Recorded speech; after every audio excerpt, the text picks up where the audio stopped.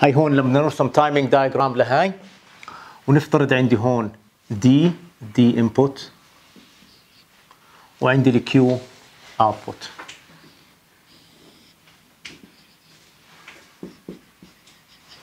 نحط هدول بالألوان مختلفة. فعندي النقطة المهمة هي ال leading edge أو ال rising edge لأنه هاي هي ال active وخلينا ناخذ ال trailing edge هاي هي النقطة المهمة لأنه هاي هون leading edge أو rising edge لو كان عندي ال input الآن D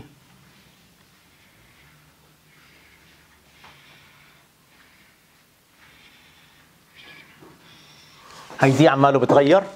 إيش النقطة اللي بتهمنا؟ أهم نقطة فيه النقطة اللي عند ال rising edge لأنه عندها راح يصير التغير. فهذا هاي النقطة هون وال output راح ينتقل يصير ونفترض إنه Q كان zero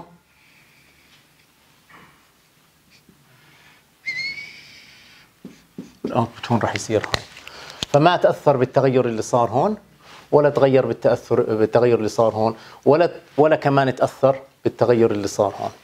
اذا ال output انتقل لل input انتقل لل output وتخزن في Q في حالة Q لما أخذنا ال clock